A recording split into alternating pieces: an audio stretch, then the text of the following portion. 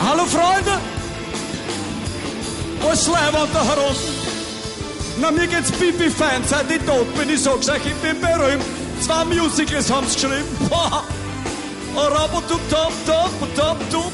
Es war 1985 und es war in Wien. Ich war die Nummer eins, die ich heute wieder bin. Ich war so exaltiert, genau das war mein Flair. Doch in Österreich muss man sterben, dann ist man wieder wer.